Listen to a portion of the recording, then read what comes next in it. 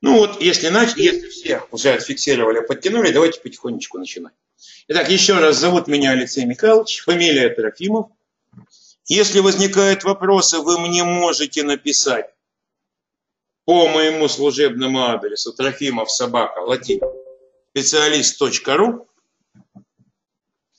В принципе, после прошлого рекламного семинара, не буду говорить, что много, но человек 5 написала. Задавали вопросы, присылали довольно интересные задачи. Кое-что удалось, кое-где удалось помочь, кое-где до сих пор думаю. Иногда очень интересные задачи присылают. Поэтому, если вдруг какие-то проблемы, вопросы, что-то хотите обсудить более индивидуально, пишите мне в почту. Почему? Ну, опять же, почему это выгодно и мне, почему это выгодно и вам? Вам, потому что, возможно, я подскажу решение, возможно, и нет. Я не маг, не волшебник. Что могу, то могу. А мне это выгодно по следующей причине. Дело заключается в том, что мы варимся в своем котле, а вы варитесь в своем котле. И в той ситуации, когда, ну скажем так, реальных боевых задач мы видим меньше. Поэтому реальные боевые задачи, как правило, мы берем именно от вас, когда вы приходите и говорите, а вот это интересная задача, вот это, когда приходите к нам учиться, ну или, соответственно, когда пишете. Как я планировал провести сегодняшнее занятие? Ну, во-первых, я хотел бы немножечко похвалить нас. Ну, а как же без этого? Ой, сразу здесь исправлю ошибочку. Вот здесь вот не 5 уровней у нас уже, а 6. 6 уровней только по Excel. Добавился новый шестой уровень. Это новые дополнительные вещи для аналитики, которые появились в 10 и 13 уровне. Во-вторых, хотел бы еще немножечко похвалить нас, что все наши специалисты, которые читают, они сертифицированные тренеры Microsoft. Естественно, почему? Потому что наш курс авторизирован Microsoft. И вы получаете не одно свидетельство, а два. В-третьих, некоторые вещи у нас просто уникальные. Ну, посмотрите. Опять же, вернусь вот сюда. Вот просто в специалист. Посмотрите на курсы, которые у нас есть. И посмотрите, вот, допустим, ну, хотя бы, не знаю, там, на второй курс по Excel. Видите, 13-10. Вот я вас уверяю, что сертифицированных курсов, я в рамках одного курса, вы рассматриваете сразу две версии программного продукта, 13 версия и 10 нет. Хотя бы по одной единственной причине. Это западный подход. По западному подходу они считают, что на каждую новую версию надо по новой проходить курс. Как не смешно, но это действительно так. Вот такая вот ситуация. Хорошо, давайте вернемся в нашу презентацию. Я думаю, это достаточные, так сказать, достаточное обоснование для того, чтобы поступать именно к нам, учиться именно у нас. И как я планировал, как я планировал провести сегодняшний семинар. Ну, приблизительно следующий. Сначала я хотел рассказать, что нужно знать для того, чтобы записаться на для того, чтобы правильно найти свой уровень. Для того, чтобы не случилось такое, чтобы вы пришли и, ой, этот уровень мне не нужен, мне нужен другой уровень. К сожалению, иногда такое бывает. Принцип здесь очень простой.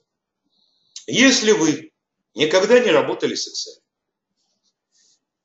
если вы, ну, скажем так, для, работали с Excel, но для того, чтобы подсчитать сумму информации, которая расположена в одной строчке, действуете по принципу равно щелк по одной ячейке плюс щелк по второй, щелк по третьей. Вот приблизительно как-то вот так. Открою десятку, думаю, это не принципиально. Если у вас вот здесь числа, а здесь вам нужна сумма, и вы действуете вот так,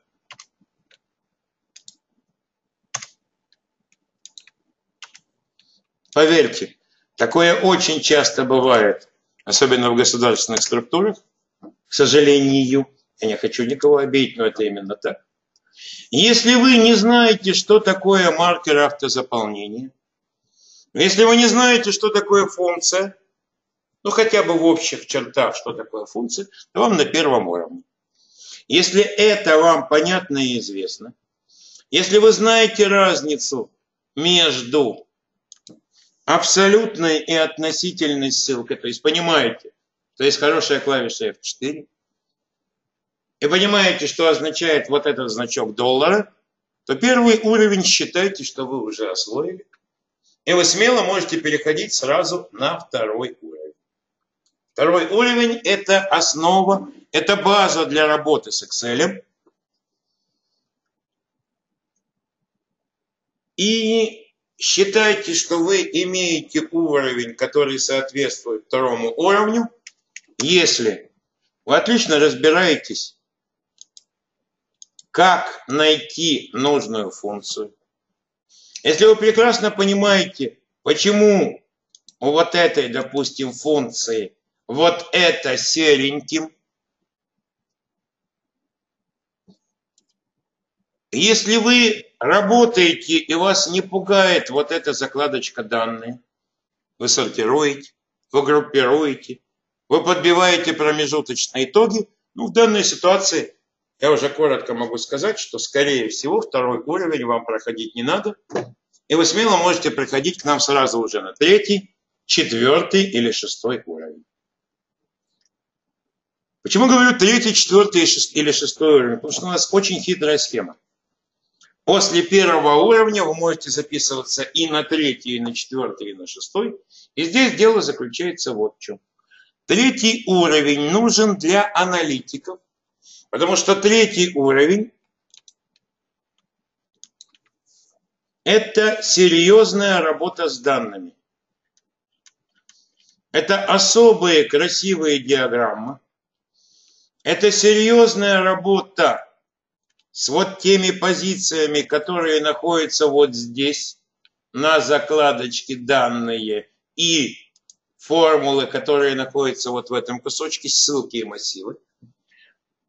Это серьезный рассказ о том, что все-таки, если вы часто заходите сюда и часто работаете с вот этой закладочкой, то стоит подумать о том, чтобы не мучить Excel, а все-таки перейти для работы перейти, работать, начинать с, э, как бы это э, с системными базами данных. Или, если вы все-таки не хотите, то тогда как правильно бросить информацию, что не копировать ее, а именно подключиться к другим источникам через мастер подключения, через query. Но этот кусочек больше для аналитиков. Четвертый и пятый уровень. Несмотря на то, что четвертый и пятый уровень у нас идет все-таки как Excel, и вы сразу после второго можете перейти к четвертому и пятому. Было легко перейти. И я все-таки прошу обратить внимание, что четвертый и пятый уровень – это макрос, это программирование. И если четвертый уровень более простой – как облегчить себе жизнь, если вы хотите работать в Excel быстро, эффективно? То пятый уровень это более серьезный. И, ну, опять же, это мое, мой совет. Я бы вам рекомендовал или до этих курсов, или после этих курсов посетить курс опрога. Основа программирования, алгоритмизации баз данных, поскольку здесь все-таки программирование. Почему еще обращаю внимание вот на этот четвертый и пятый курс? Дело в том, что в последнее время есть очень перспективное направление. Оно называется Excel Management. Что такое Excel Management? Это так обработать файл, так его раздать пользователям, чтобы можно было обеспечить хорошее прохождение документа. Это очень интересное направление, вот макросы здесь помогут. Но опять же, если вы не понимаете, о чем я говорю, значит, вам еще рановато, значит, у вас второй уровень или первый уровень. Шестой уровень – это дополнительные позиции, которые появились в Excel. Да, а где же вы? Ну, уже вон чуть ли не полчаса работает. Это дополнительные позиции. Да, сейчас, когда я включу.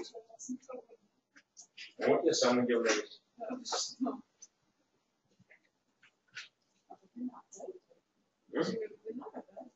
Нет, сейчас у нас появились живые, живые слушатели. Я подключаю экран, чтобы вам тоже было видно.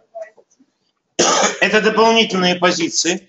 Кстати говоря, вот здесь вы Excel шестого не найдете. Он у нас находится в разделе бизнес-аналитики.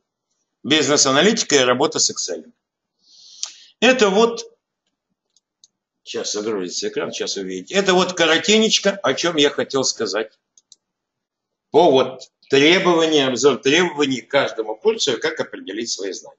Теперь я по чуть-чуть, понемножечку, по 10, по 15 минут уделю каждому уровню, чуть-чуть поподробнее начну говорить, ну и кое-какие моменты чисто рекламного характера показать, чтобы вам было интересно.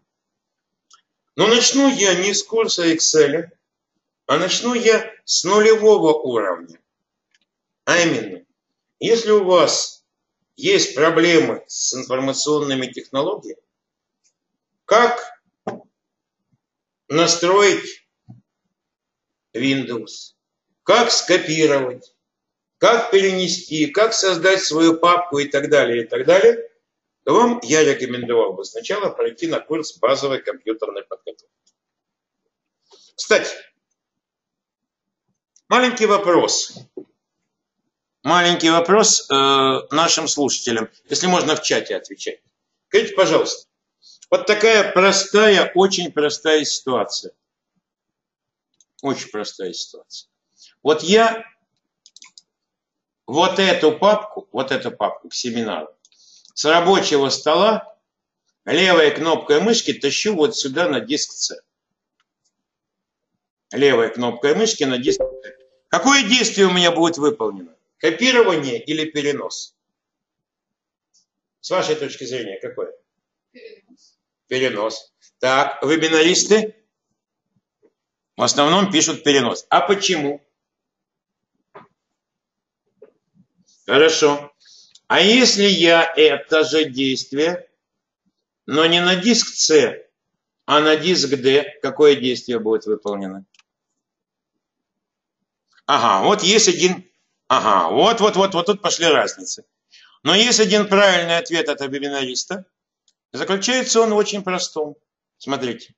Видите, есть люди, которые пишут перенос, а есть, которые пишут копирование. А вот и правильный ответ – вот, есть правильный ответ. Почему? Оказывается, если левая кнопка мышки, а левая кнопка мышки по умолчанию, то в рамках одного устройства перенос. В рамках разных устройств копирование. И вот есть много таких мелочей, которые стоило бы знать. Тем более, что есть одна маленькая особенность. Если дело касается Windows. В DOS все было просто.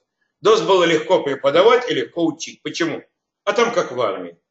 Один единственный возможный вариант. Копировать с одного места в другое, один единственный вариант. Копи, пишешь откуда и пишешь куда. Все, никаких других возможностей.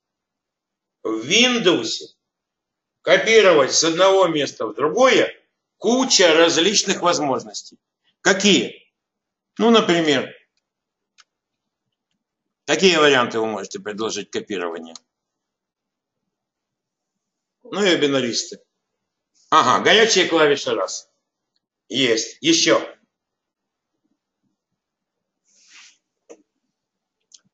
Правая кнопка мышки и последующее контекстное меню.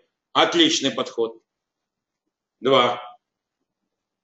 Перетащить правой кнопкой мышки. Перетащить левой кнопкой мышки и чтобы, да, да, да, но только вот не забудьте, что вот здесь, когда вы тащите левой кнопкой мышки, надо выжимать Ctrl, чтобы быть абсолютно уверенным. И тогда уже с устройства на устройство придет копирование. То есть вариантов множество. Какой выбрать? А вот здесь самое интересное.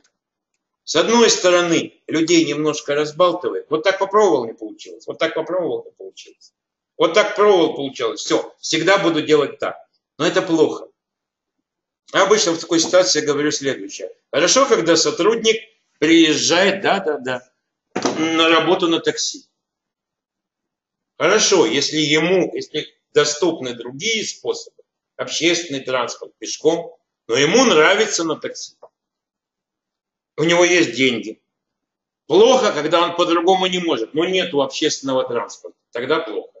То есть, если вы тащите, удерживая контрол левой кнопкой мышки, и понимаете, что вы делаете это только для того, чтобы не морочить себе голову, это хорошо. А вот если просто по-другому не умеете, это плохо.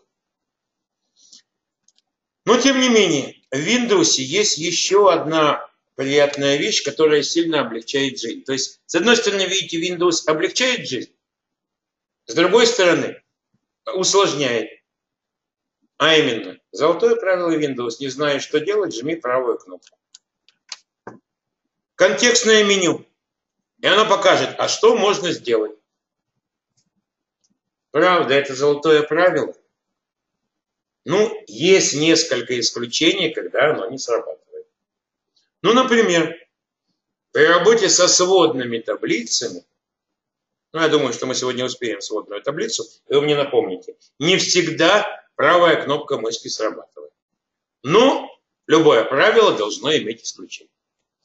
Итак, ну на всякий случай еще раз напомню, что если вы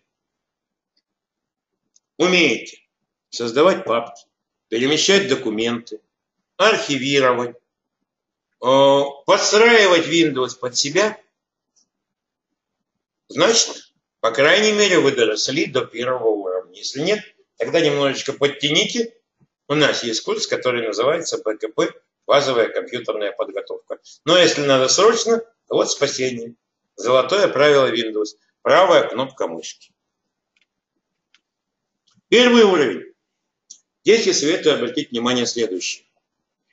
Если вы пришли на первый уровень, и вы ничего не знаете о Excel, то надо бы иметь какую-то базу, от которой можно танцевать.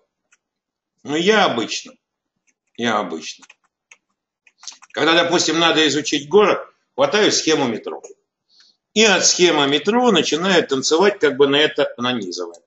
К Excel я предлагаю следующую схему. Посмотрите.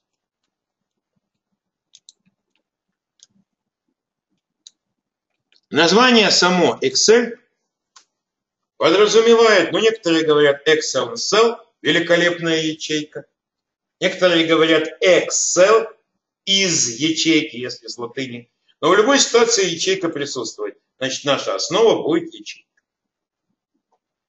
В ячейку можно что-то положить, значит, у ячейки есть содержимое. Ячейка имеет свой собственный адрес. То, что я положил в ячейку, может по-разному отображаться на экране. И, наконец, с ячейкой можно провести какие-то действия. Вот имея такую схему, вы на нее теперь аккуратненько можете все нанизывать. Что может быть в ячейке? Вот в обычной ячейке. В обычной ячейке, внутри ячейки. Не вне ячейки, вне ячейки все что угодно. Рисунок и так далее. А в ячейке может быть информация трех типов. Число, текст и формула. Знак равно формула. Какое бы абракадабр ни написали, это будет формула. Если цифры и разделители, почему говорю разделители? Ну вот, например, почему? Разделители. И он их преобразовал. Это число. Ну, естественно, при этом должно соответствовать формату числа. А если что-нибудь не то,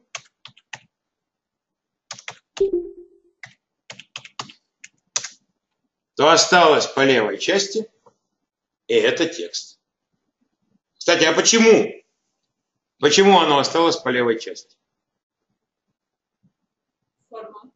Нет. 29 февраля, правильно отвечает вебинарист, не високосного года.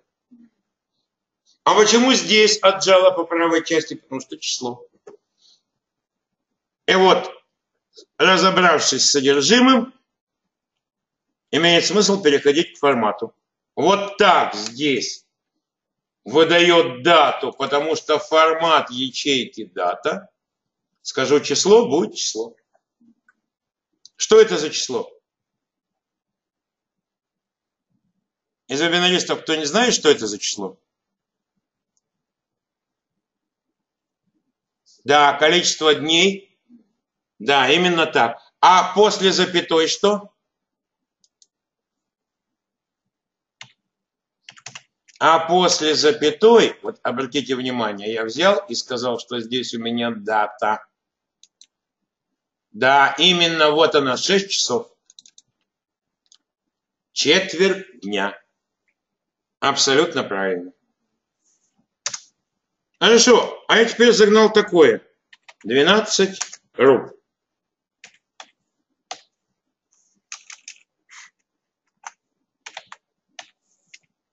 Что это? Текст по левой части. Не умножить, не разделить, ничего сделать нельзя, правильно? Нельзя говорить. А как делать рубли? Ведь налоговая съест. Есть такая вещь, как формат. Вот для чего нужен, кроме всего прочего, еще формат. Вот для чего нужен формат, вот какие, соответственно, позиции. Что у нас там осталось? Адрес. Адрес. Абсолютный, относительный, смешанный собственное имя. Что имеется в виду? Финансовое. Вот, кстати говоря, интересный вопрос. А в чем разница? Вот смотрите.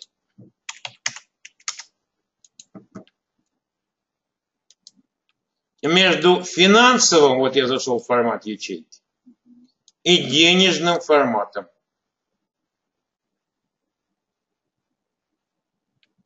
Ну-ка чем разница между финансовым и денежным? Ну, во-первых, для финансистов минус не ошибка. Это в денежном ошибка, и он красненьким может бить в глаза. А во-вторых, что более важно, вот, выравнивание денежных величин по разделителям целой и дробной части. Ну, когда-то была лира – итальянская или турецкая, у которой после запятой ничего не было. Как разные деньги сделать так, чтобы, глядя на них, ну, можно было хотя бы уловить формат цифр и так далее. Вот из-за этого разделителя. Так что какую позицию не ткнешь, везде интересные и красивые моменты. Excel бесконечен. Работать с ним можно бесконечно. Адрес. Вот здесь строка адрес, вот здесь она ее пишет. Вот здесь. Но адрес же может быть разным. Смотрите. Еще один маленький интересный момент. Вот я здесь говорю, я хочу сослаться вот на эту ячейку. Она пишет адрес F7. Я зашел в файл параметры. Зашел дополнительно. Нет, в данной, а, виноват в данной ситуации это формула. И включил вот этот флажок. Стиль ссылок. Вместо привычного мне адреса написано RC1. Щелкнул вот по этой ячейке. R-5C1. Раз, два, три, четыре, пять. На пять позиций вверх. Вверх со знаком минус. Ну, кто немножко программировал, знает. Вот здесь сначала вниз с плюсом, вправо с плюсом. Вверх, значит, с минусом. И вправо с плюсом на единицу. Вот если вдруг такая беда, и вы не знаете, как с этим справиться, то вот здесь файл параметр. Формула и сняли вот этот флажок. А это что за ссылка? Почему он очень часто? А это на старых документах очень часто было. Раз. И в данной ситуации, смотрите, адресовать вот эту ячейку можно же по-разному. Можно сказать, это та, которая рядом, и это та, которая находится на пересечении столбца и строки. Вот отсюда и формируется адрес. Или столбец строка, или сместись на одну позицию. Но, кроме этого, есть еще волшебная клавиша F4 и есть значки доллара. Многие знают, что эти значки доллара говорят, вот если я буду тянуть за уголочек, копировать, вставлять, не меняй. Но немногие знают, что два значка доллара абсолютный, термины просто не знают. Один значок доллара смешанный, нет относительный. Приходят на тест и спрашивают, какой адрес абсолютный? Знают, используют, а термина не знают. К сожалению, такое тоже бывает достаточно часто. С форматом разобрались, ну так, коротенечко, с адресом разобрались. Но главное, чтобы вы уже поняли, вот когда вы поймете ответы на все вот эти позиции, значит, первый уровень, в принципе, освоен. Действия. Ну, как кто подскажет, какие действия можно выполнить с ячейкой?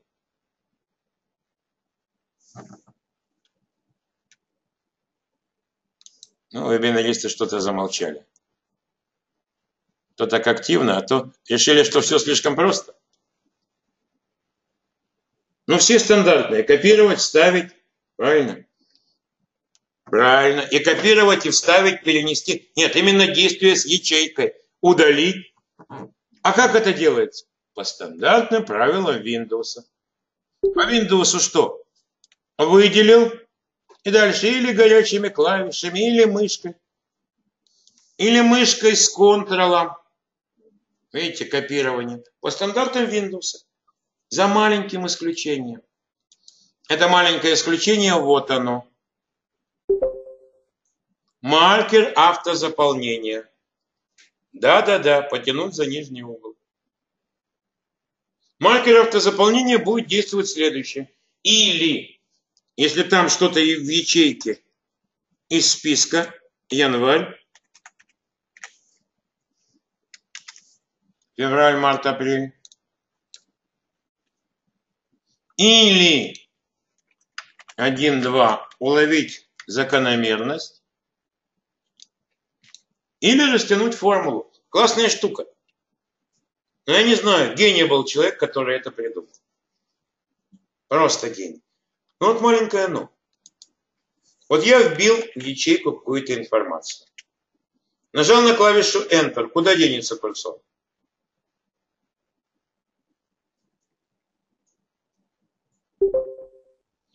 Есть предложение вниз. Есть другие предложения. В зависимости от настроек. Если Enter, то в зависимости от того, как настроили вот здесь.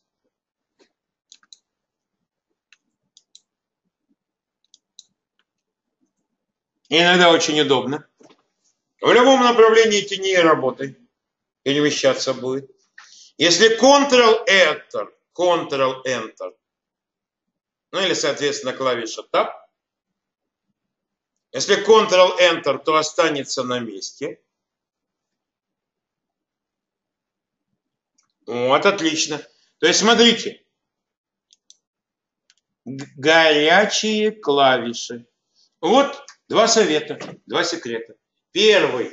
Когда вы приходите на работу и начинаете работать, и садитесь на новое рабочее место, и экранчик подогнали, и стульчик подогнали, и кружечку так, чтобы сразу с кофе под рукой была.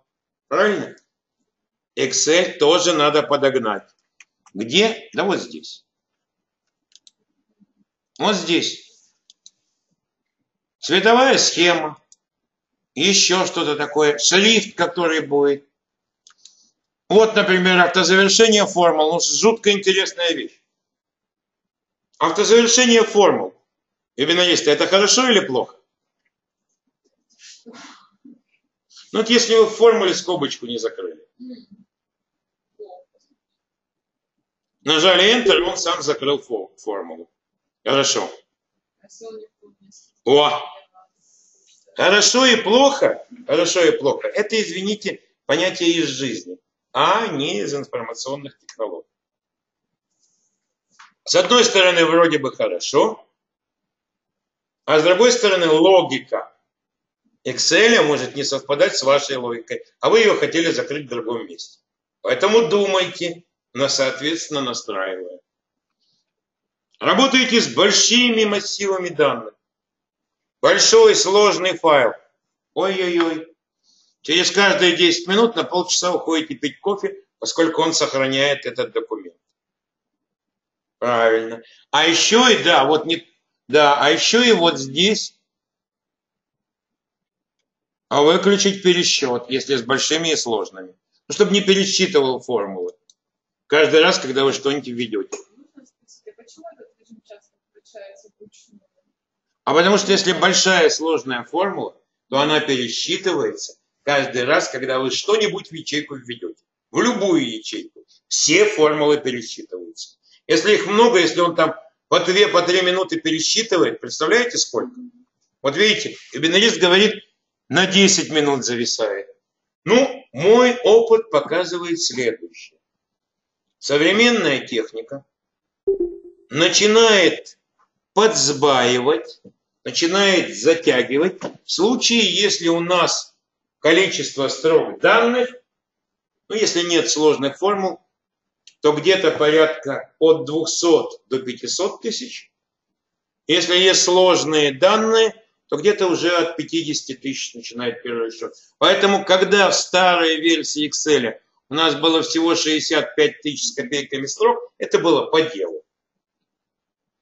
А когда, извините, сейчас вот такое вот дикое количество строк, угу, тогда, извините, ну, мне кажется, что это больше реклама. Потому что, ну, реально такое количество строк, ну, или надо иметь суперкомпьютер. Ну, с моей точки зрения. Вот видите, человек говорит, что ком зависает на 10 минут, и огромные файлы и так далее. То есть все, все здесь надо четко и ясно перестроить и подогнать под себя. Все позиции, которые нужны. И в правописании, и в сохранении, и в языке. Знаете, как интересно бывает. Иногда зайдешь на какой-нибудь компьютер. Все нормально, все по-русски. Вызываешь справку, она на английском. Почему? Потому что отдельно языки для интерфейса и для справки. Угу. Отдельно. А более того, вот здесь настройки ленты, если у вас вообще море возможностей, вы хотите какие-то кнопочки, которые были в 2003 версии, но сейчас их нет. Ну, например, мастер сводных таблиц. Здесь Здесь она есть. Только выберите все и найдете все, что вам нужно. Здесь все, что когда-то было. Немножко изменился, может быть, вид. Но, в принципе, здесь сохранились все кнопки, которые были в старых версиях. Очень бережно. Все, все настраивается, все делается под вас. И возможностей здесь целая куча. Итак, ну, я бы хотел отметить, из первого уровня, что не забывайте о горячих клавишах. Вы знаете, у нас когда-то, у меня когда-то в группе была одна слушательница из, ну, машинистка очень высокого класса.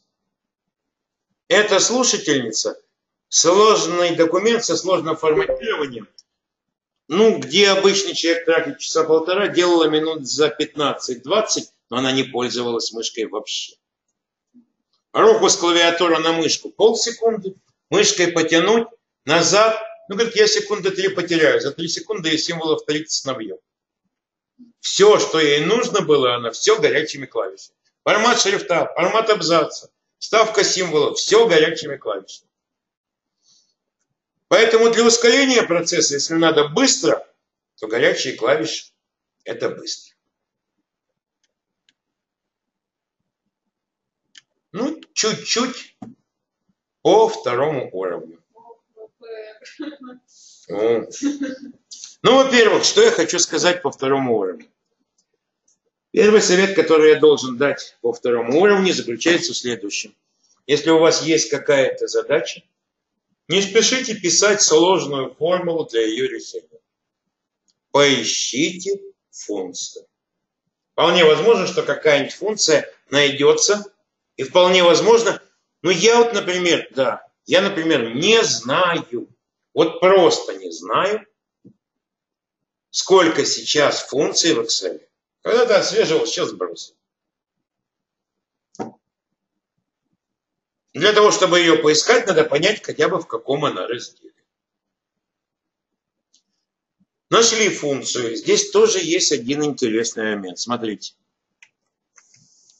Вот я открываю нашу заготовочку. Интересно, где она у меня откроется сейчас, в какой версии. А, здесь не открылась. Страница.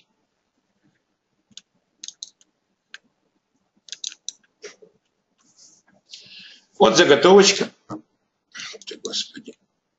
Вот у меня первый листочек. Вот стандартная ситуация. Если вы используете формулу ВПР, еще раз скажу, то подумайте, а в Excel ли все это должно быть? Ведь по большому счету это мини-база данных. Это одна таблица со своими ключевыми полями, это другая, и здесь информация должна подтягиваться из этой таблицы. Но, хорошо, пусть. Функция. Да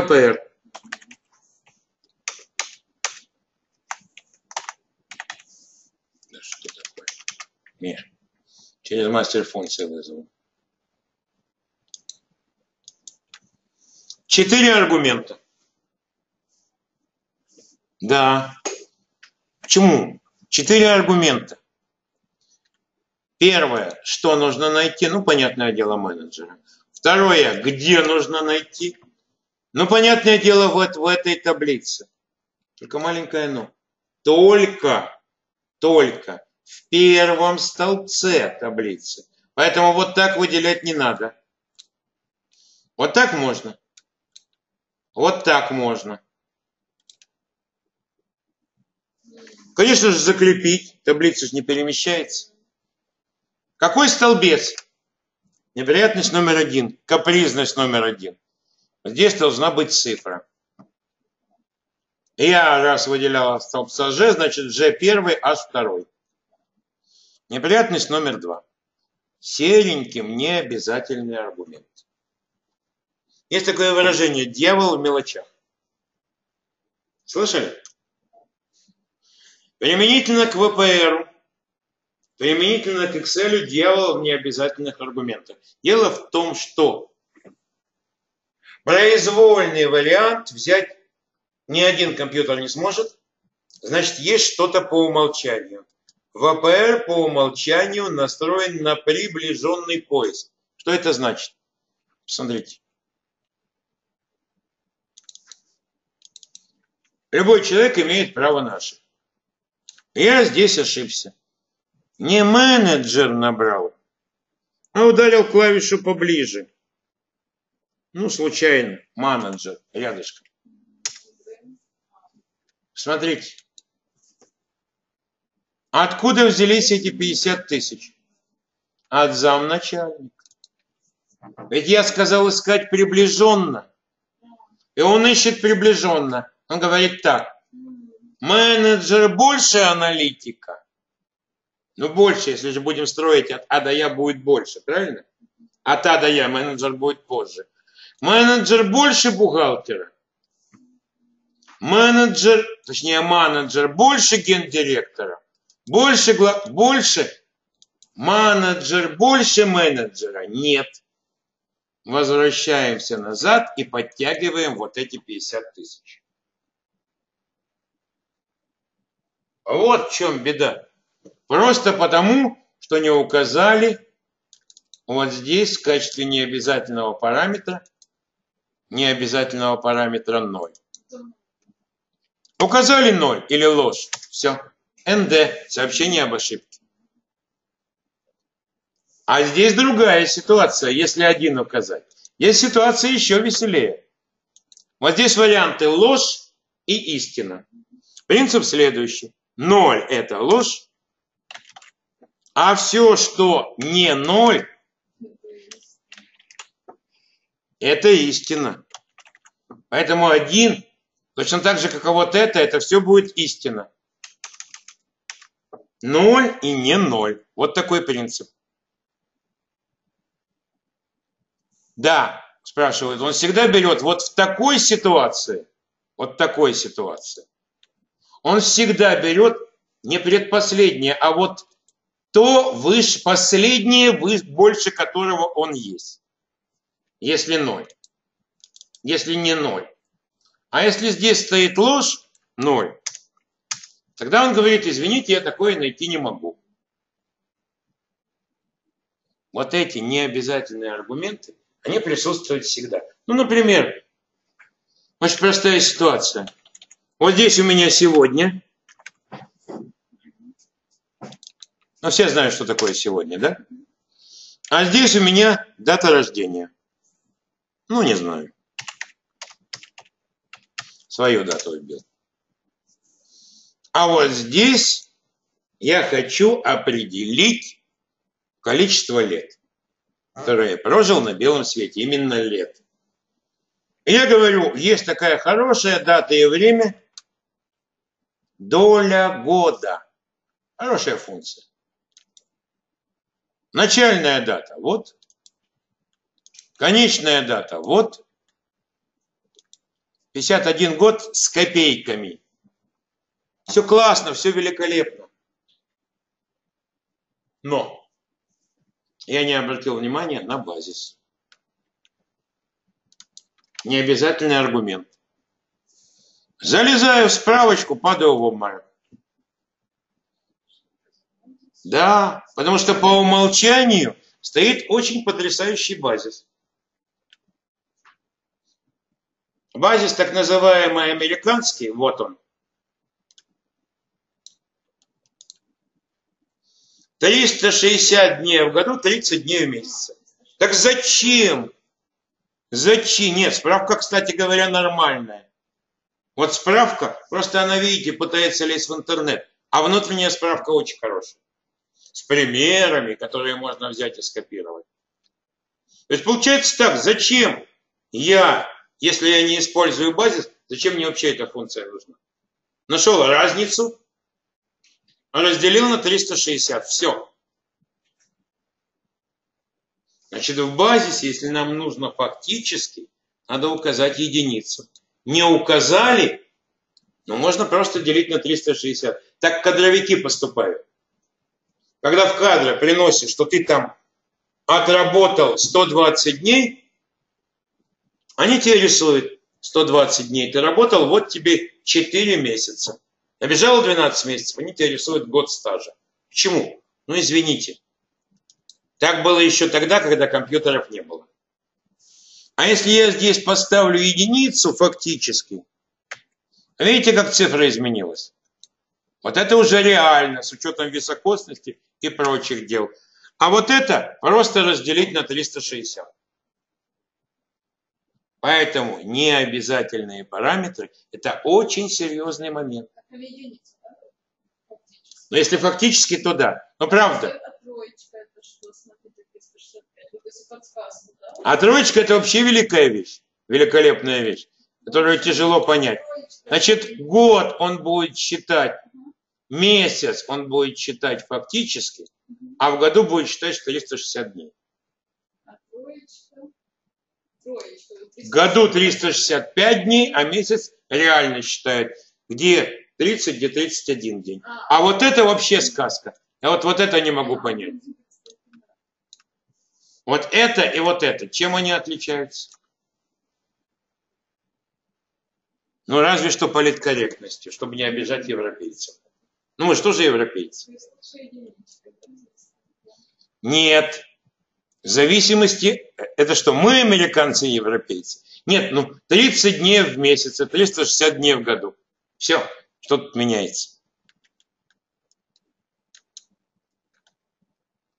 Поэтому мой вам просто добрый совет.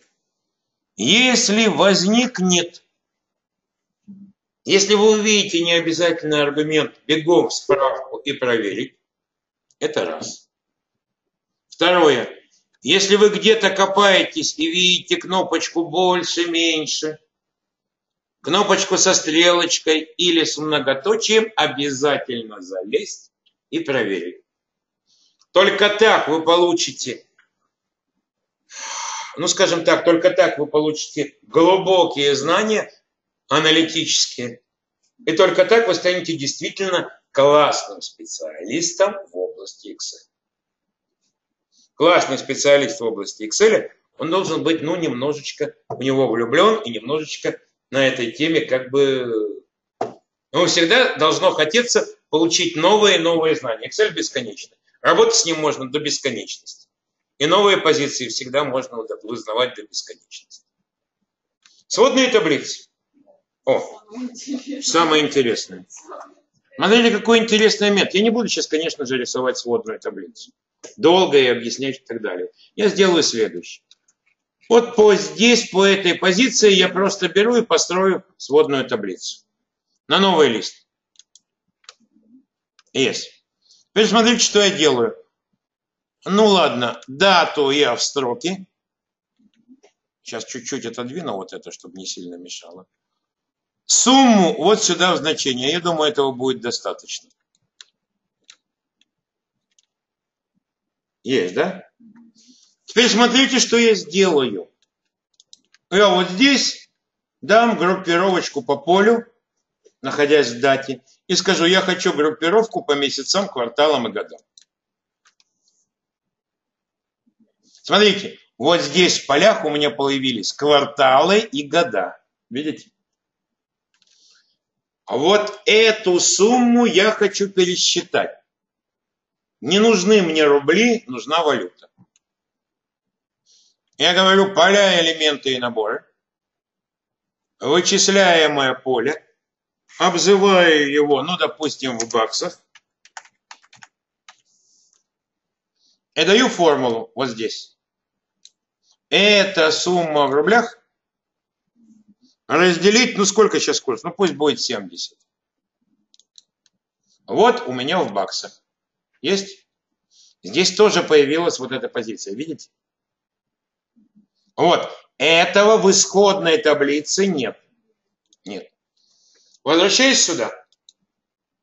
Еще делаю одну сводную таблицу. Опа, в баксах, года, кварталы. В этой таблице нет? Нет. А здесь есть. Почему? А дело заключается вот в чем. Сводная таблица строится в два этапа. Первый этап на основании вот этой таблицы строится так называемый, не, не шайтан, но что вы ее обзываете? Нет, на основании вот этой таблицы строится так называемый кэш. Некий промежуточный кусочек, куда сбрасываются это значение, эти значения. И уже на основании этого кэша строятся вот эти сводные таблицы. То есть они построены не с вот этого листа, а с кэша, с промежуточного значения, с промежуточного элемента. Так вот, поскольку они берут информацию с одного и того же листа, у них общий кэш. Зачем это сделано? А сделано это вот зачем. Когда-то сводные таблицы тянули море, ну просто море сил, и с тех пор еще осталась вот эта позиция отложить обновление макета, но с тем, чтобы не производить перерасчет. Ну, техника была не очень такая мощная. И тогда общий кэш – это было спасение. Один раз расчет, а разные сводные таблицы – это разные отображения. Вот и все. Кэш общий, расчеты все там в кэше, а здесь мы просто по-разному их отображаем. Но,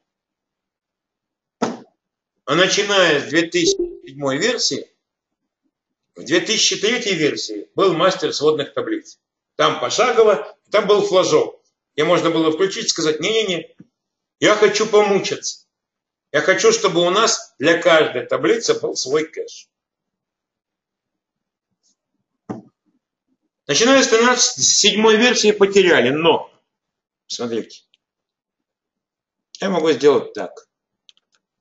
Другие команды, а могу и на отдельную позицию ленты. Все И здесь иду и ищу. Так, и КЛМ. Так, мастер сводных таблиц и диаграмм. Видите? Я его сюда добавляю. Вот он. Вроде бы то же самое, нет, не то же самое. Видите, кто работал? Вроде бы кнопочка, видите? Кнопочка. Практически такая же, как и вот здесь. Нет, здесь мастер вызывается. Вот этот мастер. Вот кто его потерял с третьей версии, вот он где. И вот здесь шаг за шагом, указывая диапазон, ну не знаю, ладно, тут уж не важно. И вот здесь будет как раз позиция, связанная с тем, с общим кэшем. Вот если я с этого листа начинаю создавать,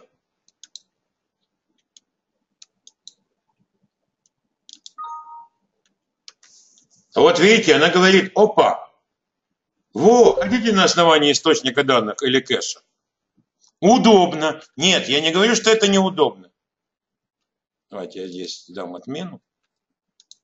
Я не говорю, что это неудобно. Я не говорю. Ну вот, опять же, да, консолидированное. Удобно, конечно, удобно. Просто иногда всякое может быть. И поэтому, если было что-то хорошее, что вы держали в старой версии, в третьей версии видели, а в седьмой не увидели, но вперед. Заметьте, я сейчас уже говорю о более таких серьезных моментах. Но ну, лучше сложными пользоваться. Я просто мастером тем лучше не пользоваться. Ну, сложными вот сейчас пользуюсь, а даже вот что лучше? Надежно. Лучше то, что вам больше нравится и что подходит под вашу задачу. Третий уровень. Третий уровень. Что у нас третий уровень? Третий уровень – это у нас работа с большими данными. Еще раз подчеркну. Если вы используете вот это и вот эти формулы, то вы имитируете работу баз данных. Другого варианта здесь нет. Значит, неплохо было бы поддерживать идеологию баз данных. А идеология баз данных у нас очень простая. Обязателен заголовок. И этот заголовок должен быть простым нежелательно категорически пустых строк или пустых столбцов. Почему? Потому что, извините, тогда Excel решает, вот это один набор данных, вот это другой. Одна строка – это один набор данных, это идеология баз данных. И, следовательно, если мы работаем с закладочкой данные, то категорически нежелательно что-то выделять. Надо просто курсор ставить в таблицу, и Excel сам определит. Вот они, вот они данные, мы с ним будем работать. Почему нежелательно выделять? И это тоже, да, абсолютно правильно. Более того, если уж пошла речь об идеологии баз данных, Прошу обратить внимание. Вот. Это тоже базы данных. Здесь плохо сказано. Здесь переводчик, да даже не переводчик, здесь сам Microsoft, должен был сказать, что создание таблицы баз данных. Создание таблицы баз данных. Вот она, таблица базы данных. Так же, как и форматировать как таблицу. Это таблица базы данных. Еще раз говорю, если вы пришли на третий уровень, то на третьем уровне, на третьем уровне, вы должны категорически хотя бы чуть-чуть разбираться по, по базам данных. И должны понимать, что Excel имитирует работу баз данных. Ну, что хорошо? Ну, действительно, знаете, у нас аксессу и базам данных, как, а вот аксессу майкрософтовскому не очень повезло. Маленькие фирмы говорят, ой, зачем? У нас Excel есть. Крупные фирмы говорят, что Access? Пальчики растопырили. Нам Oracle, нам SQL Server, нам Python и все прочие. О, сочувствую. Глубоко сочувствую. Почему? Потому что обычно это признак того, что фирма богатая. А? SAP. Это обычно признак того, что фирма богатая. Это одна из наиболее дорогих. Да, да, да. Это одна из наиболее дорогих. И, кстати говоря, с моей точки зрения, не очень хорошая. Сабадеш. Но она, но она дорого стоит. И вообще обычно такие вот, чем крутая фирма, да, это крутая фирма, ее SAP. А вы пробуйте найти хорошего специалиста, это будет отдельная песня. Очень навороченная и в известной степени глюкнутая и очень дорогая СУБД. Угу. Это СУБД, о, и куча окошек. Это очень дорогая, очень навороченная. Ну, с моей точки зрения, не самая лучшая. Честно скажу. Очень много резюме требования знания SAP. Я сочувствую тем фирмам, я сочувствую тем фирмам, у которых стоит SAP, поскольку попробуй-ка найти, пусть они попробуют найти аналитика со соответствующими знаниями, который бы еще на SAP при этом не плевался. Ну а поскольку данные, кстати говоря, раз вы аналитик, значит третий уровень, и четвертый, и пятый – это для вас. Потому что требуется аналитик со знанием макросов Excel. Уже не просто, просто Excel. Угу. находят. знаете, я макросы закончила, но я как мне уровне писать элементарное что-то. Понятно. Далее. Отдельный кусочек на третьем уровне – это визуализация данных. Отдельный кусочек. А визуализация данных – это у нас что? Это у нас диаграмма. Правильно? Вопрос. Кстати говоря, и к нашим вебинаристам тоже. Когда диаграмма построена правильно? Вот как определить, что диаграмму построили правильно?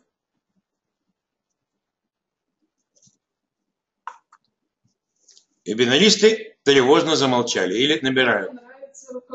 Ага, когда она отвечает поставленным задачам. А каким?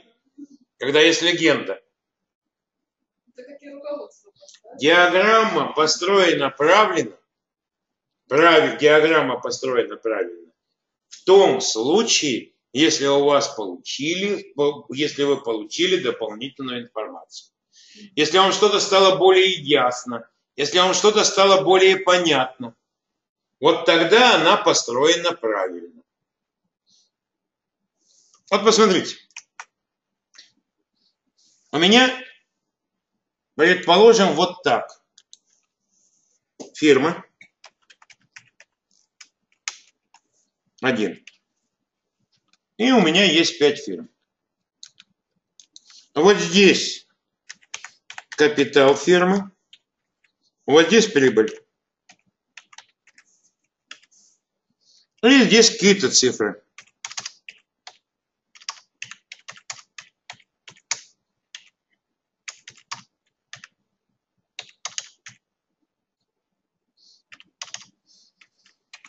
А здесь прибыль.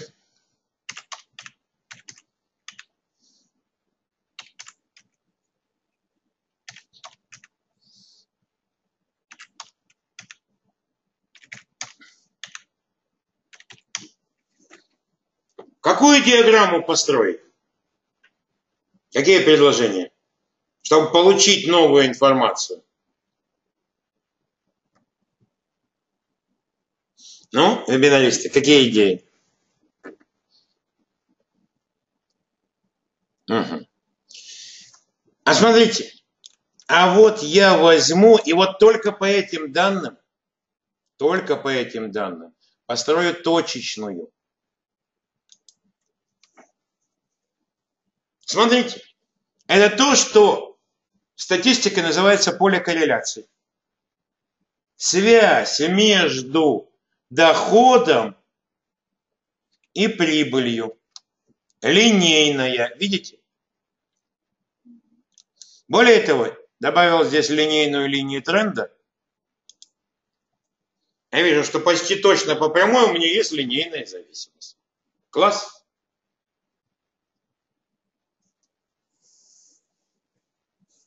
Вот здесь фирма 1. Ну, не очень.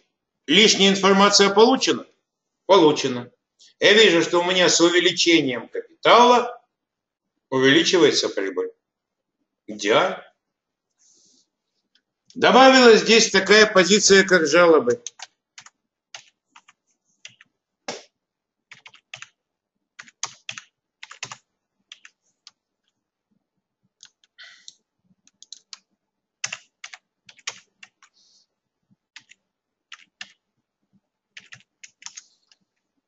Строю пузырьковую.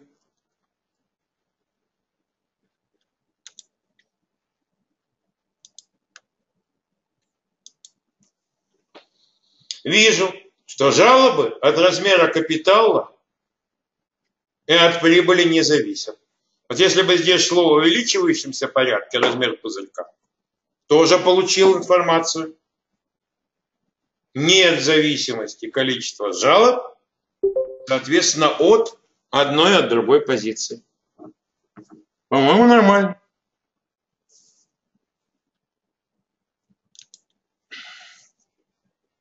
Ну, это вот коротенечко так рассказал по третьему уровню. Потом вас научат строить более интересные диаграммы. Тайфун, водопад, диаграмма Ганта, диаграммы с изменяющимися размерами – так, звук пропадает. Так, сейчас посмотрю.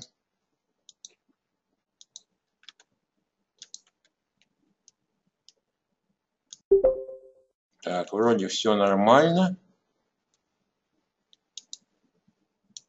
Здесь нормально. У меня, я не знаю, может наш вебинарист, у меня вот видите. Нет, я говорю, что в рамках нашего курса, в рамках третьего Excel, в рамках третьего Excel есть диаграммы Ганта, есть диаграммы Ганта, есть саморасширяющиеся диаграммы, есть множество разных интересных диаграмм. Ну, в частности, чего стоит хотя бы диаграмма Ганта, которому каждому, которая каждому аналитику нужна. Ну и, наконец, последний уровень, четвертый. Я вам четвертый и пятый. Шестой ничего говорить не буду, потому что это бизнес-аналитика. Бизнес-приложение. Ну и я скажу так, что, честно говоря, пользоваться чужим мне не нравится. Ну, эта фирма разработала Microsoft. Я лучше сам что-нибудь придумаю и разработаю. А по четвертому, пятому скажу. Во-первых, вы используете Excel максимум процентов на 30-40 если не используете макросы. Это раз. Во-вторых, стопроцентное использование макросов, да, это программирование, но реально половину возможностей макрос, половину возможностей макроса можно выжить даже не зная программирования. Почему? Потому что есть такая классная штука, как макрорекорд. В-третьих, если вы начнете заниматься макросами, у вас есть все основания прийти к начальству и сказать, мне два монитора. Почему? Потому что вот здесь работает макрорекодер, вот здесь вы выполняете действия, а вот здесь, на другом экране, вы на него любуетесь. А что же он там пишет? Вот сейчас я сымитирую два экрана. Смотрите. Вот я начинаю запись макроса. Вот здесь его открываю. и смотрю. Щелкнул по вот этой ячейке. Угу. В эту ячейку ввел формулу. Выделил следующую ячейку. Этой ячейке дал вот такой формат. Он, конечно, написал многое. А Калякода отвратительно пишет. Но кто мне мешает в этот момент вызвать Google и узнать, а что это такое? А это, оказывается, у нас день. А что это такое? А что это такое? Что это такое? И так далее. Вызвать и сказать, ай, а вы знаете, вот это-то все лишнее.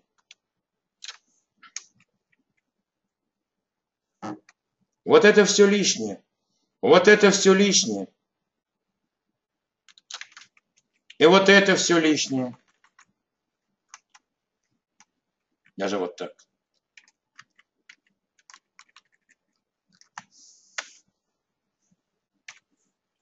Ну, хотя на самом деле, скорее всего.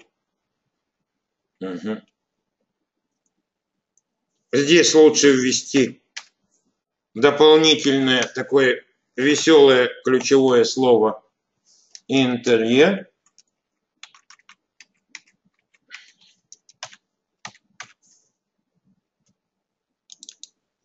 А уже у него вызвать color, а лучше color индекс, и ему задать конкретное числовое значение. Ну, а это уже лишнее. Словом, залезя в Google, вы увидите много такого хорошего, полезного. Именно поэтому один из слушателей на вопрос, как вы пишете макросы, у него были серьезные макросы. Сказал мне, да очень просто.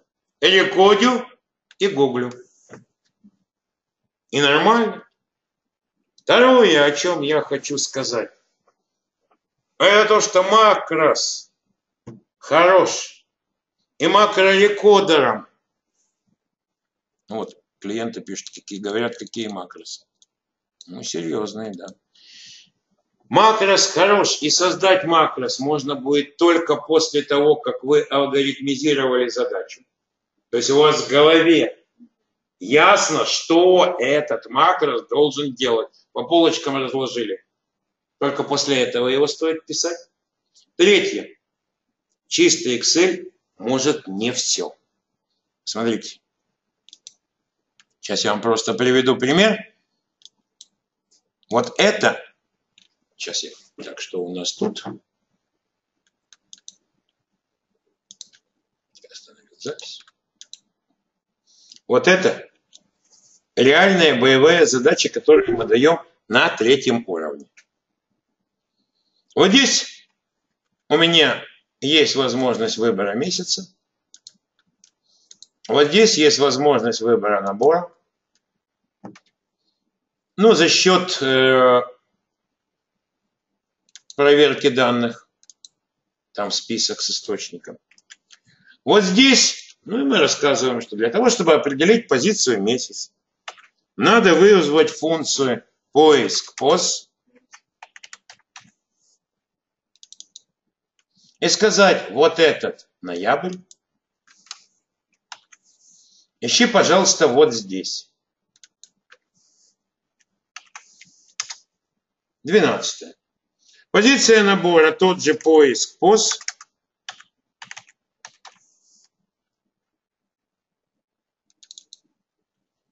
Что вот этот набор, где вот в этой первой строке.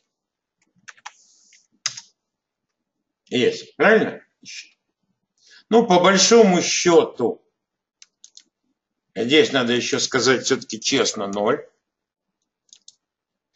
или ложь.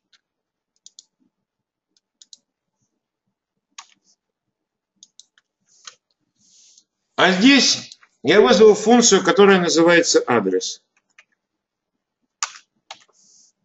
Вот она. Что делает эта функция? Она спрашивает, какой номер строки? Вот. Какой номер столбца? Вот. И она вернула мне адрес вот этой вот выделенной ячейки, D12. Дальше мы говорим, ой, а есть такая хорошая функция dv-ссылка. которая сходит по этому адресу и вернет нам полученный результат. Ну, нормальная такая вещь. Если большая таблица, то мы просто вот на третьем уровне учимся создавать такую автоматизированную ситуацию.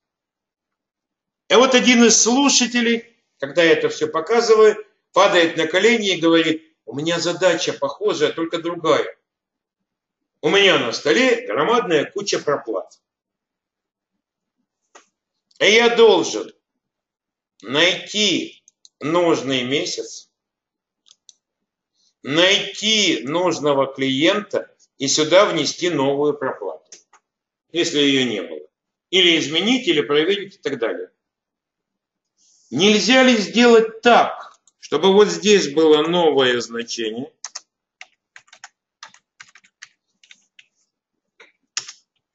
Вот сюда я его внес. Вот. И как я его внес, это бы бросилось вот сюда. Так вот, этого Excel принципиально сделать не сможет. Функции Excel не сможет. Не смогут. Это сможет сделать только макрос. Нет, формально вы можете написать функцию, которая что-то меняет вне своей ячейки. Можете.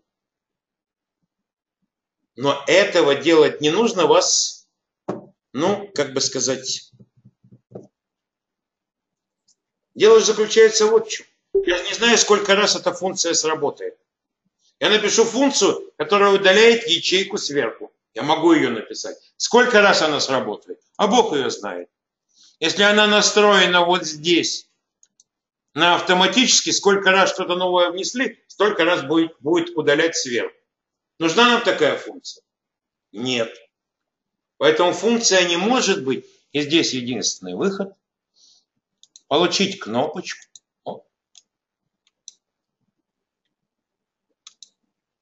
а потом я нажму на эту кнопочку, и макрос бросит. Но только макрос надо прописать.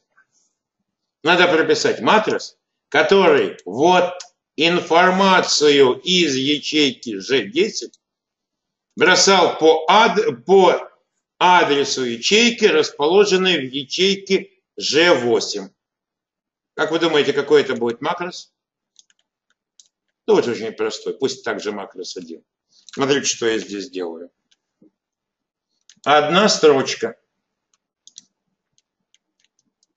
Ну, сейчас я побольше, чтобы было легче.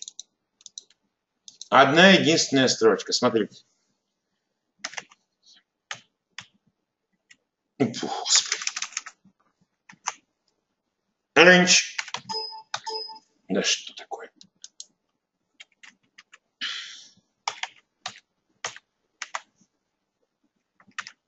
Здесь это говорит адрес, да? А где адрес находится? В ячейке, то есть в области. Какой? G8. Помните? G8. То есть вот, изнутри сходи по адресу ячейки G8. Сходи вот сюда.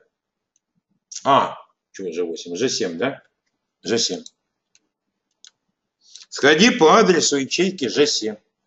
Возьми оттуда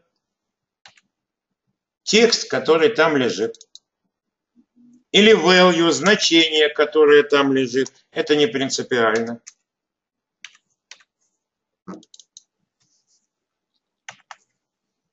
Значит, вот здесь мы получили адрес, а это указание перейди по этому адресу и возьми значение, которое там лежит.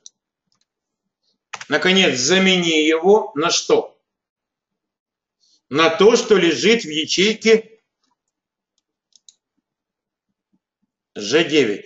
Видите? Значит, осталось только туда добраться.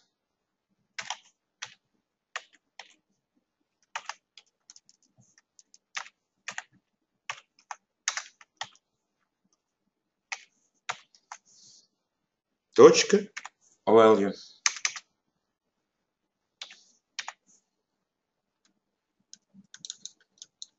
Одна строчка.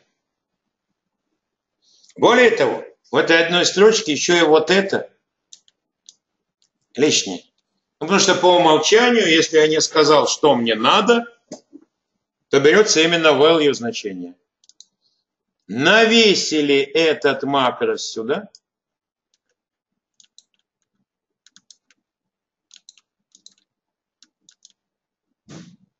Новое значение помещается по этому адресу. Excel не может, а макрорекодер, пожалуйста, вот. Чистое автоматическое рабочее место буквально за несколько секунд. Вот какие возможности имеет Excel. С использованием макросов и VBA. И последний вопрос, который я хотел бы обсудить, самое что ни на есть последний, заключается вот в чем. Как раздать, вот вы написали макросы, функции, все хорошо, как это сделать? Кажется, эту возможность предусмотрена. А именно, у меня есть возможность этот файл сохранять как, ну в случае необходимости, файл с макросом, сохранять как особый вид, как надстройку, хлам, новая версия, хлам, старая версия, Видите, он сразу говорит, а вот место, где хранится эта надстроечка. Стандартная.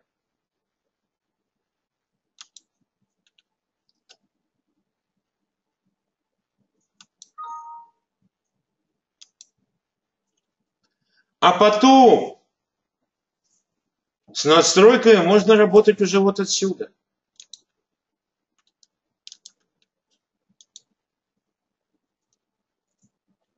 И можно их подключать, отключать как пакет анализа, как поиск решения. Вот. Вот моя заготовочка, видите? А особенность хлама заключается в том, что файл открывается, к VBA доступ есть, к макросам доступ есть, а листочков не видно. Так что лучше, если вы собираетесь серьезно распространять, это как хлам. Правда, маленькое но. Ведь когда я включил поиск решения, когда я включил поиск решения, у меня вот здесь появилась вот эта кнопочка. Да ради бога. VBA позволяет, поскольку есть такая вещь, как событие, VBA позволяет на событие add install, на событие добавления настройки навесить подключение нужной кнопочки. И тогда у вас вообще красота. Вы создаете хламовский файл, не говоря ни слова, пересылаете в нужное место каждому конкретному сотруднику, и ему говорите, если надо, то мои макросы подключи, пожалуйста. Точно так же, как ты подключаешь поиск решений, у тебя кнопочки появятся и все остальное. Вот это будет действительно нормальный, качественный Excel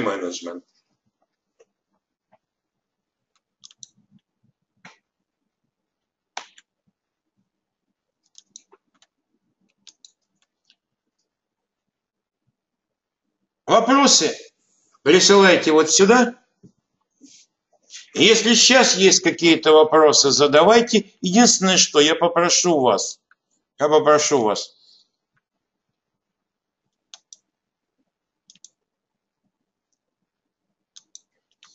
ответить.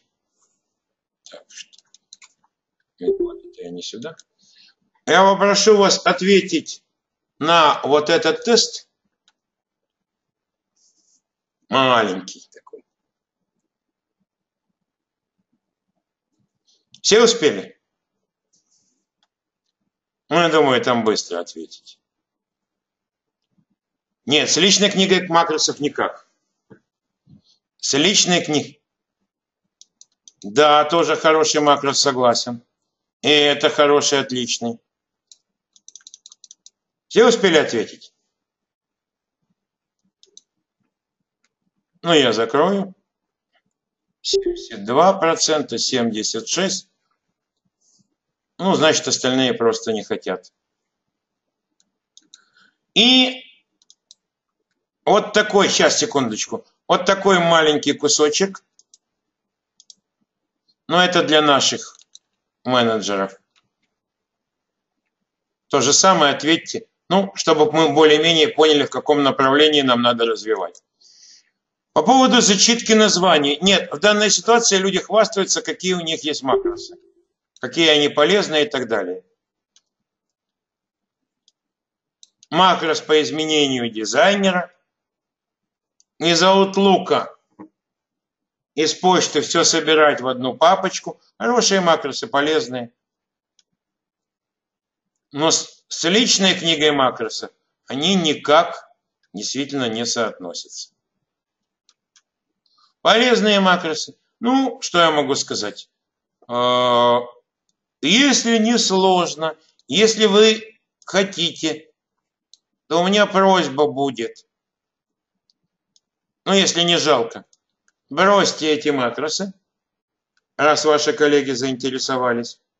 А вы... А, по отношению к хлама и личной книге? Понятно. Нет, Хлам и личная книга макросов не соотносятся никак. Личная книга макросов – это ваша личная книга макросов, там вы храните информацию. А что касается хлама, это средство автоматизации. Это несколько разные вещи.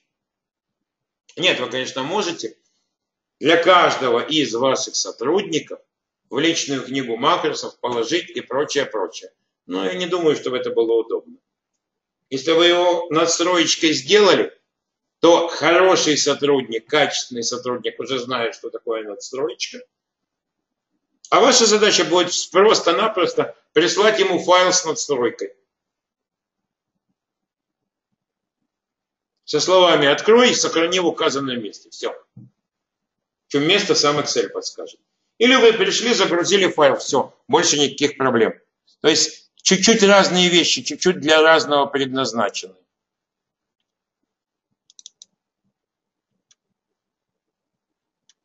Ну, опять же, видите, гуглиться по названию предлагаю. Ну, если у кого-то есть что-то интересное, наш, э, ну, нам изо всех сил обещают, не знаю, насколько Ой, ну нам очень давно уже, очень давно уже обещают, что у нас будут вот здесь конкурсы. Не только вот такие вещи. Кстати говоря, не знаю, ну, улетел куда-то. Уже закрыли, что ли? Вот здесь был куда-то, видимо, сейчас переделывают. Вот здесь был конкурс «Яркий образ». Хороший конкурс для тех, кто э, по дизайну и так далее. Вот. Для них был такой конкурс, ну, они нарисовали красивый рисунок. Куда его деть? Сюда. Вот я изо всех сил давлю на наш рекламный отдел, чтобы они наконец сделали конкурс, который будет называться «Идеальный код». Не код, идеальный код который говорит, мяу тоже был бы хороший конкурс. Фотографии котов, фотографии домашних животных, это было бы великолепно. А именно код. Они немножко отбиваются. Да, сейчас выключаю. Так, закрываю. Угу. Ну, почти все ответили. Ага, вот в основном основная масса, ну, как я ожидал, идут по офисным технологиям. Ну вот, когда они добьют, я думаю, что я их заставлю. Я думаю, что я их заставлю. А, Скалин идет. Когда они добьют, я думаю, что я их заставлю делать все-таки по разным направлениям. Отдельно сишно, отдельно офисное, отдельно идеальный код, отдельно очень полезная программа. Ну, по крайней мере, вопрос сейчас рас, рассматривается. Заглядывайте, смотрите. Еще вопросы?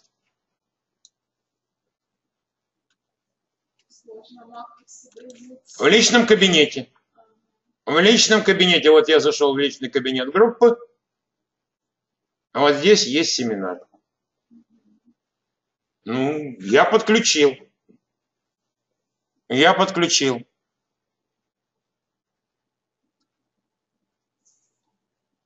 Опа. Может, уже по времени отрезало? Ага.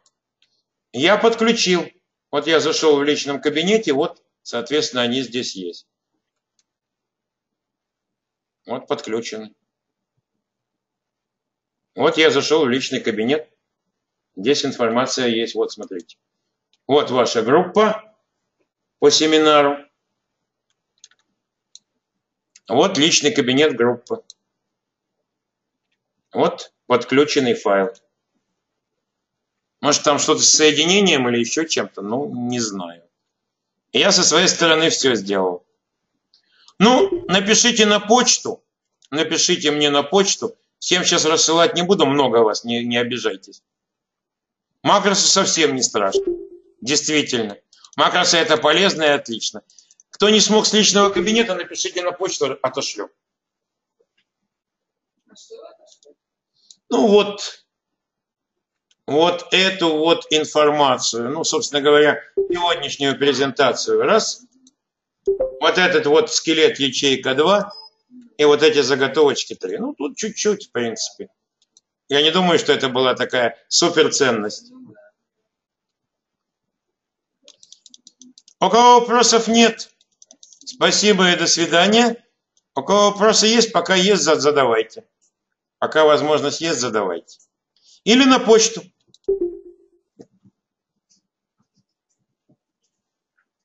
Ну что ж, судя по тому, как люди стали отключаться, вопросов нет, да. Все, тогда я тоже закрываю вебинар. До свидания.